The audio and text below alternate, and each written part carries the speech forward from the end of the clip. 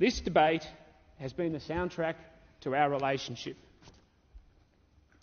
We both know this issue isn't the reason we got involved in politics.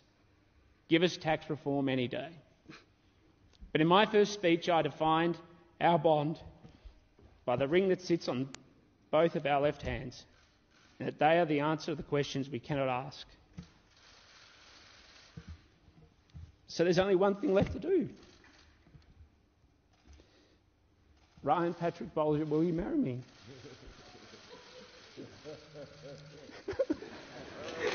we'll put this. We'll chuck that in the memoirs and Hansard. Uh, Should let Hansard uh, note to record that that was a yes, a resounding yes. Congratulations. Thank